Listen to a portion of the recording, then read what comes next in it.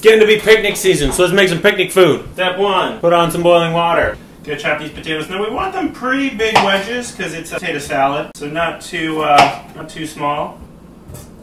After your potatoes are chopped, drop them into the water. Meanwhile, take some balsamic, olive oil. Oh no! I'm like almost out of olive oil. Fortunately, I got enough. Oh, I'm totally chopping garlic on the non-garlic side. Take that garlic, put it in. This is very garlicky, so if you like less garlic, adjust to your taste.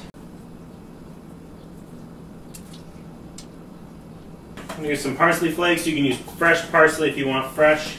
That is totally okay. Smoked paprika, a good amount of that. And I like a tiny bit of cayenne pepper, not even for the heat, it's like almost like a suggestion. Cracked pepper, salt, green onion.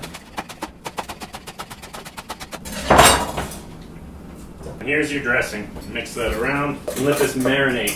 If the onion and the garlic get a chance to marinate in the lemon juice a little bit, I find that helps all the flavors kind of meld together better. Get that in focus. Sorry if this has been out of focus the whole time.